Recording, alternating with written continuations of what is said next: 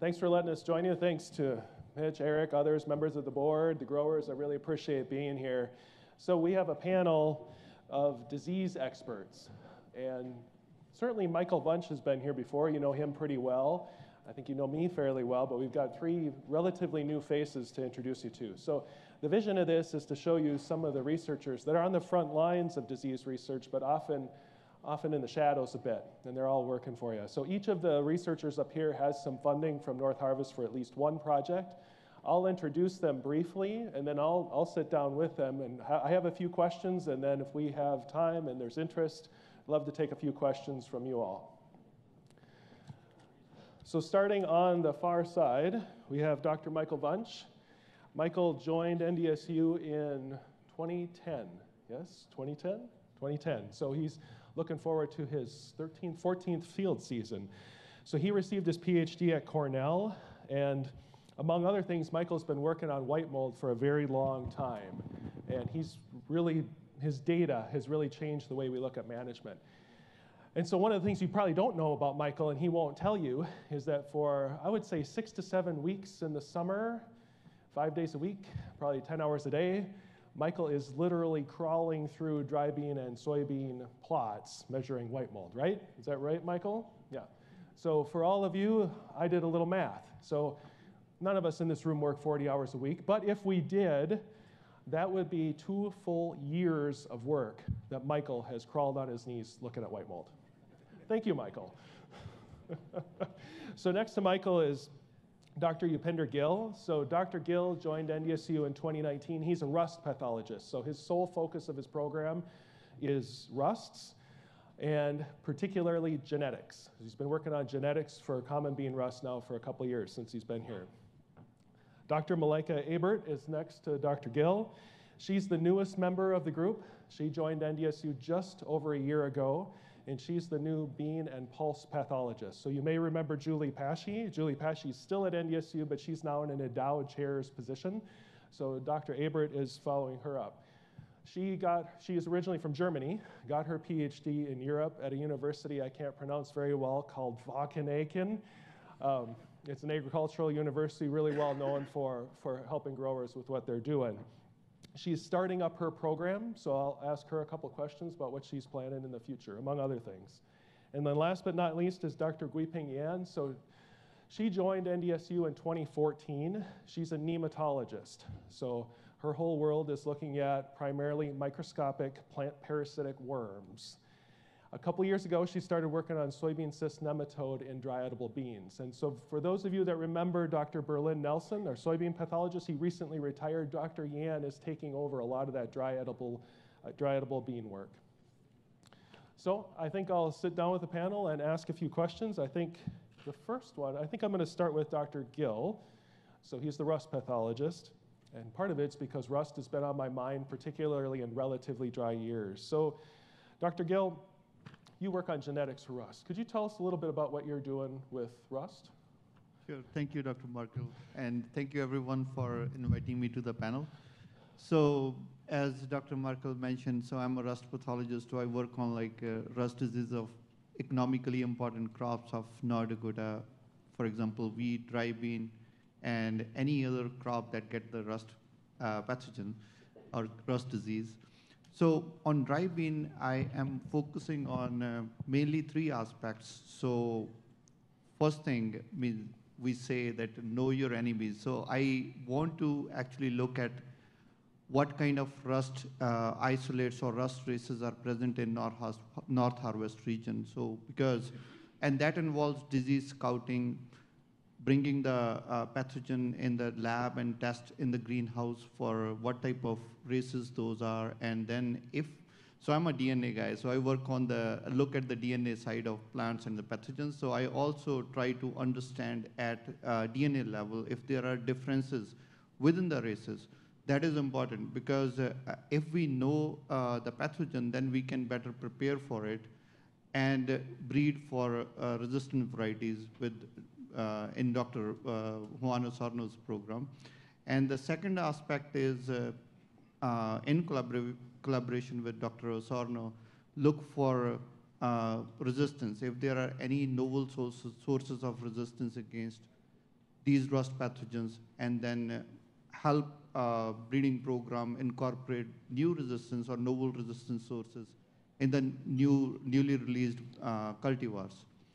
And the third aspect is as a, as a grower, we need to know like whether if we put a resistance gene in, is that going to be economically helpful to the farmers? So for that, I work with Dr. Uh, Markell on understanding if we uh, do the field trials and try to understand if we can, uh, with the lines with the resistance gene or without resistance gene, is there any economical benefit? Can we get the yield advantage? And just those kind of studies. So those are the three, three aspects I mainly work on. So many of you growers will remember rust epidemics maybe in the 80s and 90s, and a lot of that, of course, was related to the pathogen, changing races, and overcoming genes. So, not to put you on the spot, Dr. Gill, but we know that can happen. We know that does happen. So, what, what do you think the threat of rust is maybe in the next five years? And maybe what, if you are very successful, what would you expect for some of the knowledge of the genetics and varieties? So, uh, I would say rust is something that can uh, come next year or it cannot come in next few years because uh, so the thing is this pathogen is evolving very fast so there are always something going on it is coming up making some changes in the in the genome and then coming up with the new races so we need to be always prepared for it and usually i think uh, as i said disease scouting is very important as long as we can just keep on keep our eyes open, looking for any, any changes in the pathogen, we can be on a safer side and we can work with the breeding programs and try to introduce new genes against those races. So. Yeah, you mentioned scouting. How would you recommend uh, one of the growers in the room scout for rust? Yeah, so usually I think that's a very important question. So if we are uh, scouting for rust diseases, mainly like when uh, there is a prolonged dew period and uh, closed canopy, uh, moderate temperature, that is the time, those are the conducive environment for the rust to uh, take place or to cause the infection. And usually, uh, uh, like after 4th of July, like mid or later July is the time when we can see like those hot spots in the field. If you see anything, just I would suggest like just contact uh, extension agents or send your sample to disease diagnostic lab or just contact us anytime. Like you can contact us on phone, email, or just stop by our office and bring the samples in. So those are the things I would suggest. All right, thank you. So Dr. Ebert, you're the newest member of the team here, so just finished your first field season. So one of the things I know you do is you do a disease survey, and this has been going on for many years, and this is your first go at it. So can you tell us what you saw this year in your survey, a little bit about the survey? Yeah, thank you for uh, the Thank you. Maybe that one. Thank you for the introduction. Um, this was my first uh, survey this year, that is true. Closer. And um, what we did was we uh, surveyed fields in North Dakota and Minnesota, so the Northarvest region, um, we, in total, went to 30 fields, and uh, we used three time points to scout for different diseases, so root rots, um, bacterial diseases, but also white mold and rusts. And in general, what we found was, um, I think that is also something that people saw in previous years, that root rots are very common in the fields. So in 30 fields, we found 100% of root rot. Every field ha had it. Um, and similar was also common bacterial blight. It was very commonly found. We did take samples with uh, to process in the lab because we're always interested in staying up to date with the, the pathogens that we actually find in the fields.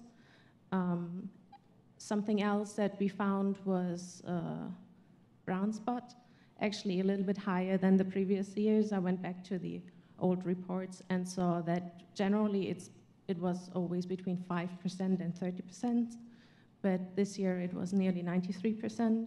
So we also sampled a lot of that, and uh, we are currently processing those in the lab. Um, besides that, we found a little bit of white mold and also a little bit of rusts, which we handed off to Dr. Gill. Um, and yeah, in general, I would like to thank uh, the dry bean community for being very nice to us and very welcoming. We had some interactions in the field, and that was a really, really nice experience when people actually came out. Uh, they saw us in the field, they came out, they asked questions, they told me or told us about their, their fields, about what they grow, and that is very valuable for us in general. Excellent. So I understand too that during the survey you're collecting pathogen isolates. Mhm. Part of that is to start and establish a pathology program that will work on multiple diseases because you're the bean pathologist, right? So, not to put you on the spot, but like, what do you think your program could look like five years from now? Um, that is a very good question, and actually, what I learned uh, within the last year is to expect the unexpected. Um, so basically, what we do is we try to make a very broad basis for a lot of different pathogens. For sure, root rot's going to be one part of it. Um, absolutely, uh, uh, bacterial diseases will be part of it, but also um, uh, white mold is very, very important for some parts of the Northarvest region. Um, rusts, we, uh, we collaborate with uh, Dr. Gill. Um, and by that I mean we just give them the samples.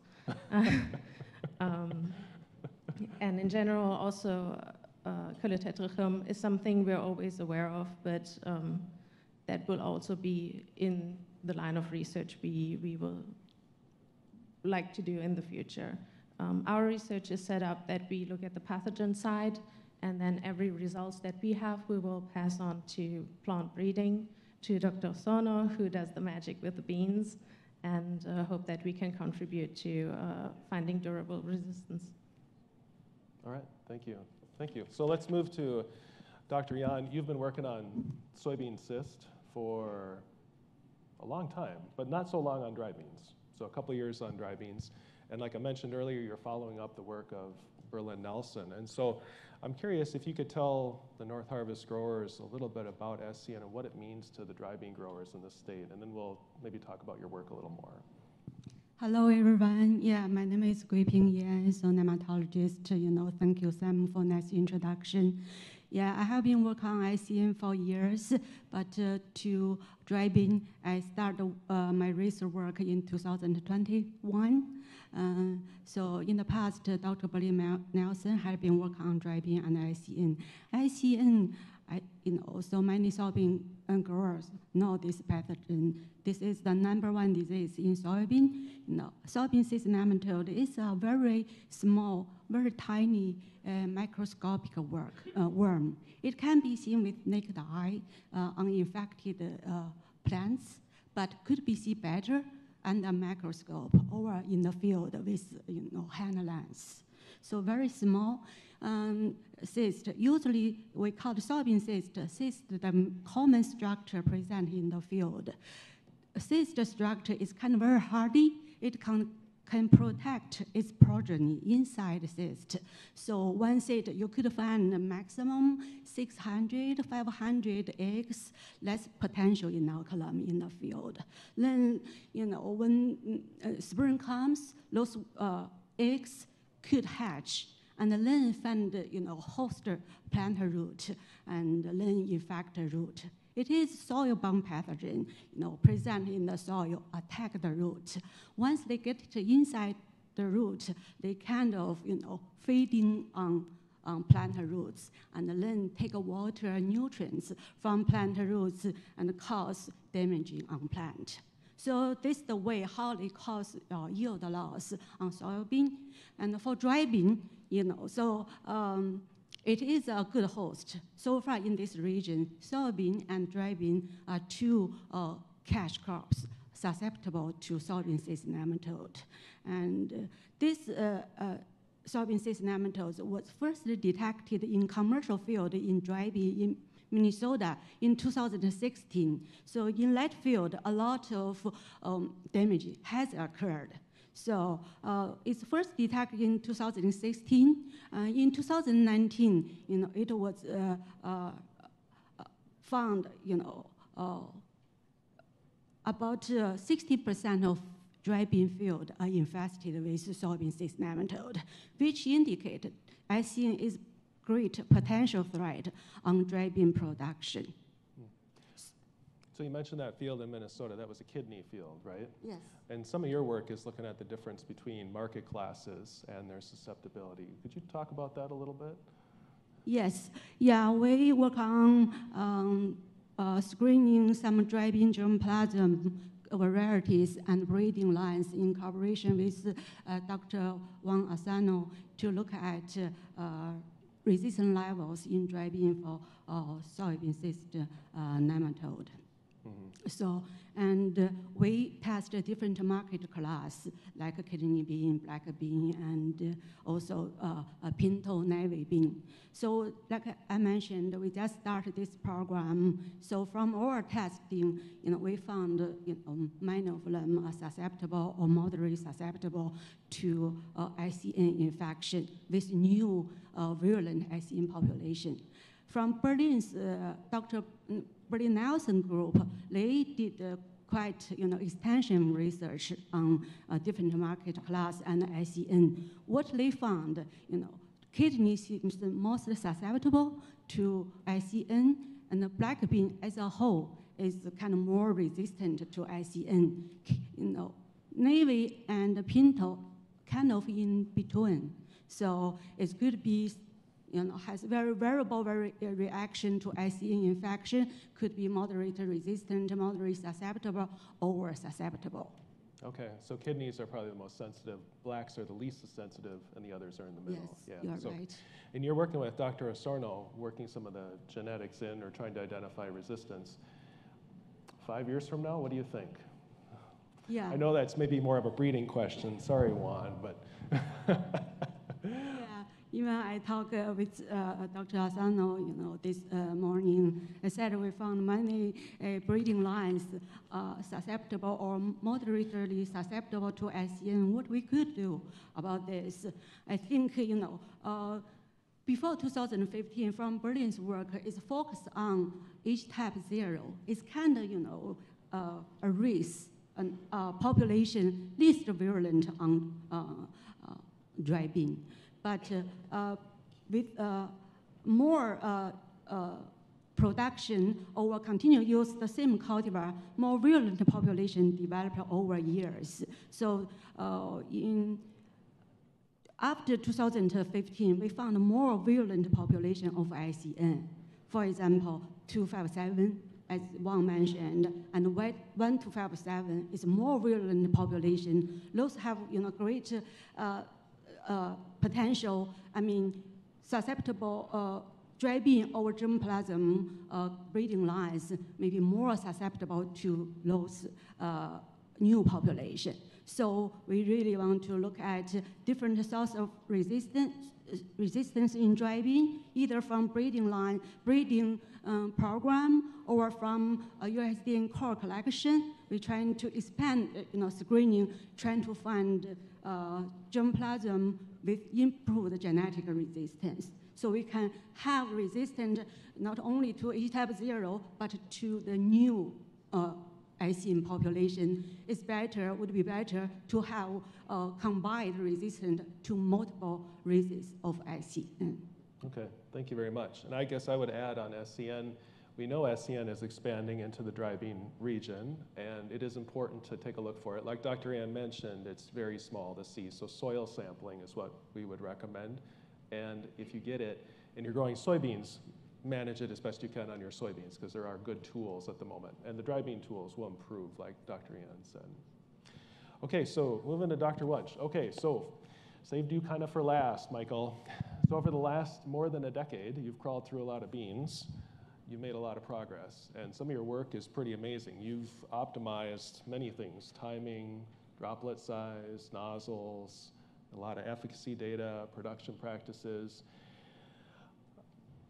What do you think is the most important update you have for the growers? Would it be timing?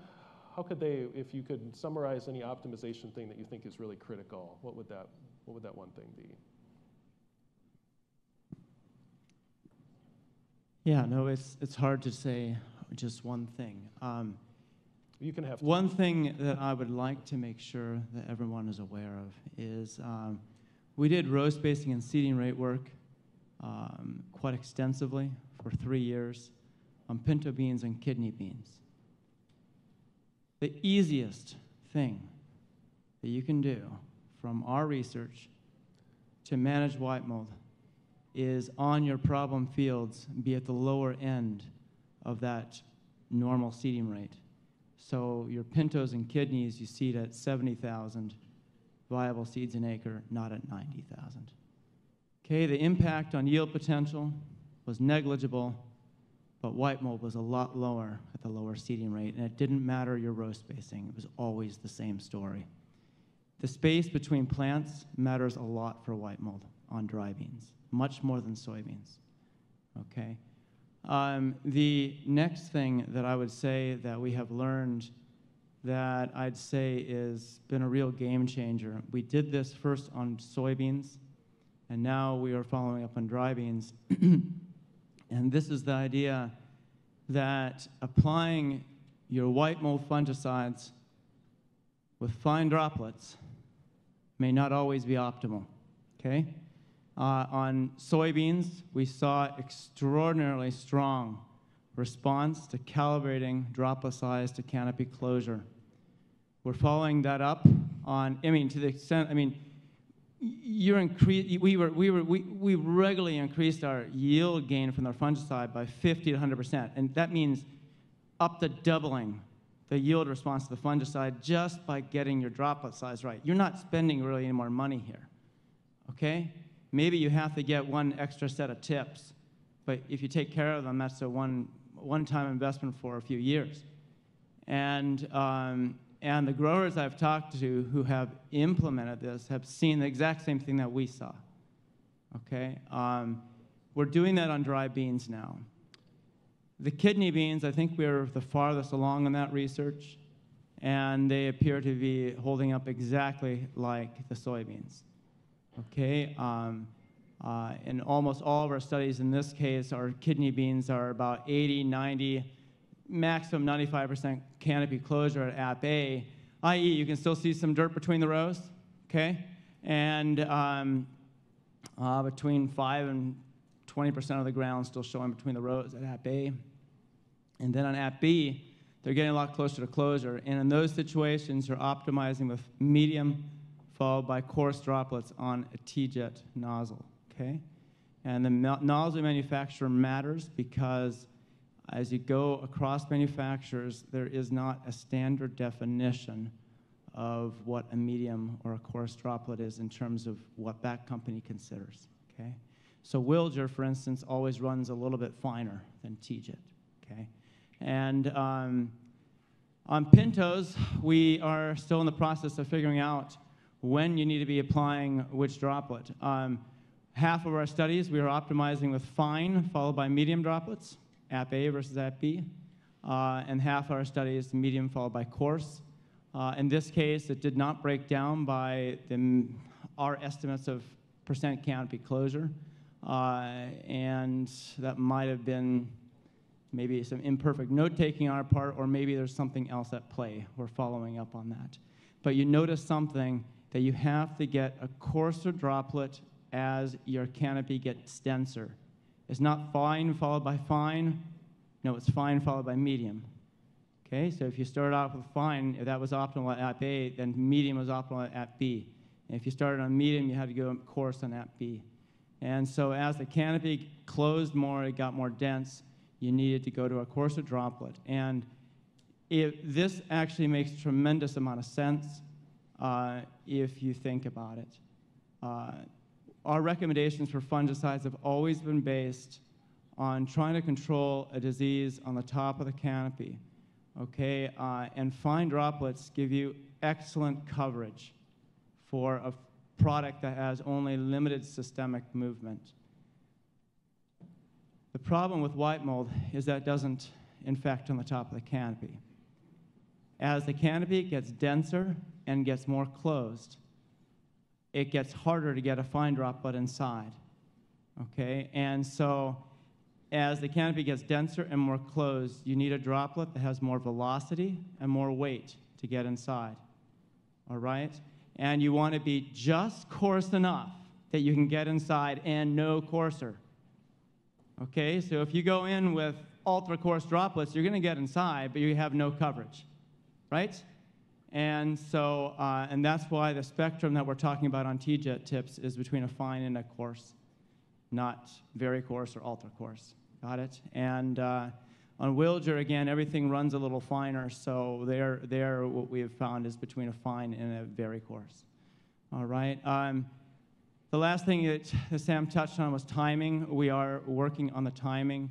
Uh, what I've found extremely informative in our timing work is that um, we've always had this mantra that you have to apply inf- before infection. Obviously, you do. You don't get kickback action here, right? So you have to get the fungicide on before infection.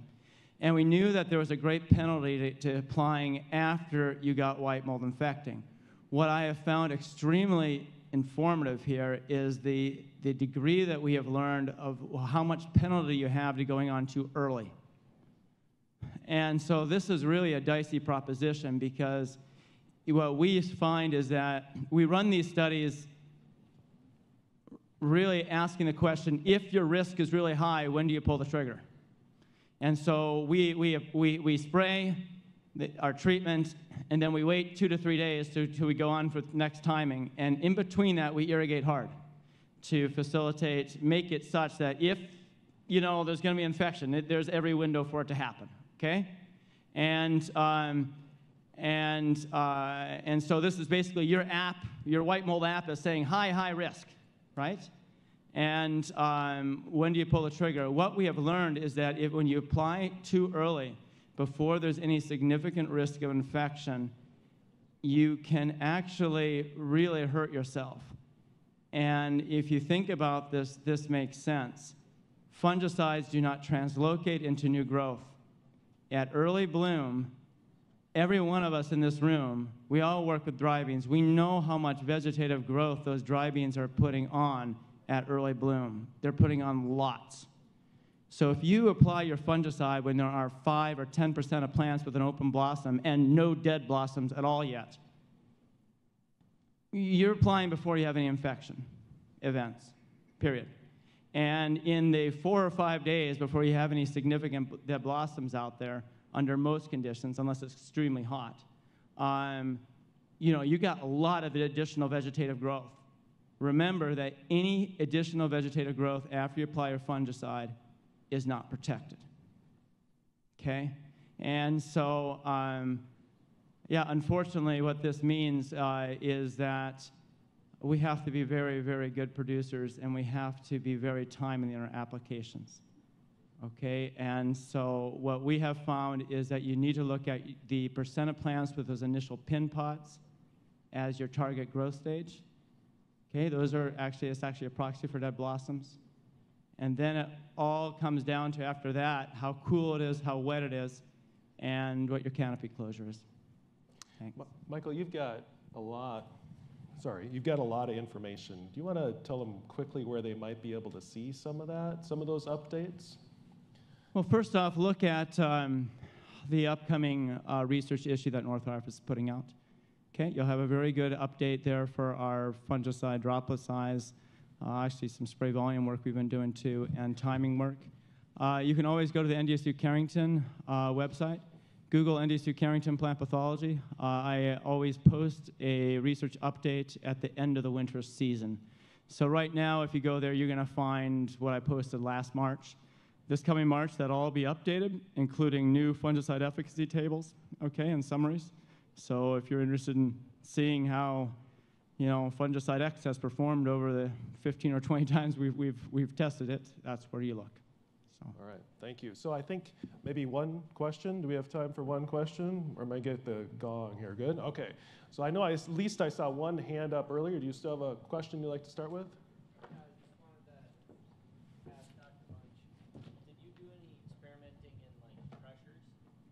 Can you, yeah, can you so the question that? is, did we experiment with application pressure? No, we haven't done that. Um, we've Okay, so we do this all with a PTO-driven R&D sprayer, tractor-mounted. Okay, um, what we are doing though is we keep our, our driving speed constant and our spray volume uh, constant, uh, and all we modify is pulse width when we're using these TeeJet tips. Of course, Wilger, you don't you don't have to change your pulse width because um, they uh, they manufacture a lineup of tips that doesn't require that. But um, we've ended up having to just use whatever pressure uh, is necessary to get our necessary droplet with the, you know, tip that um, uh, will give us our droplet size at the driving speed we can go. And so, uh, you know, and what I want to stress there is, I, if you keep your pressures in the range that's recommended, you should be fine. So we're using extended range TeeJet tips, 110 degree uh, tips, and um, we keep it always between 30 and 60 psi. And actually, our coarse droplets are being run at 30 psi when the fines are actually at like 50 or 60, depending on the nozzle we're using. And so I, you know, you know, the size of the droplet has a lot more to do with how much velocity it has than, than necessarily the pressure you put it out on. What you want to make sure is you don't exceed 60 psi with these typical, these traditional tips. Uh, air induction is another story. Okay, those you want at higher pressures, but what happens is you take a standard, a normal, say, extended range tip, and you, you shoot it out at like 70, 80 psi. What you're going to end up doing is you're going to have a tail on your distribution with a lot of fines and, and very fines, even if the primary distribution is not centered on that. And that's not desirable. Yeah. So. All right, well, I think we probably should wrap it. Well, what do you think? Should we wrap? All right, one more, quick. Gallons per acre. Gallons per acre. Ugh, gallons per acre. Okay. Michael. I've been really leery to talk about this one because it's been, uh, the results we've gotten have really blown me away. We're using the same methods that we're using in the droplet size studies. We do this, we use our pulse width modulation system, Capstan Ag, to keep our driving speed the same. Um, in this case, we keep our nozzles uh, the same. Now we're calibrating versus canopy closure. We've been testing now three years, 10, 15, 20, 25 gallons an acre. Topsin followed by Endura. 40 fluid ounces followed by 8 ounces Endura. And um, we haven't seen a response to spray volume. Um, nothing. Uh, we just followed this up on soybeans with white mold. Um, 5 to 15 gallons an acre on soybeans. After our driving experience, we thought we'd see how low we can go. and uh, it looks like we might be starting to see a response below 10 gallons an acre, but um, it's not as strong as I would have expected. Uh, there is some research that was done in Brazil uh, about eight years ago, uh, looking at 10.7 versus 21.4 gallons an acre. Uh, three different nozzles, two different fungicides. They saw no, no response to spray volume for white mold management. Wow. Okay, are we going to find an exception to that? I don't know. Perhaps. Um, at this point, um, that's what we're finding. I'm reticent to recommend it. Okay. All right. Thank you, everyone. I'd like to emphasize one thing that Malaika said that the researchers here would like to hear from you. They like to hear from you. So interact with them, tell them what's going on in your farm. And with that, I thank you very much and thank you for having us.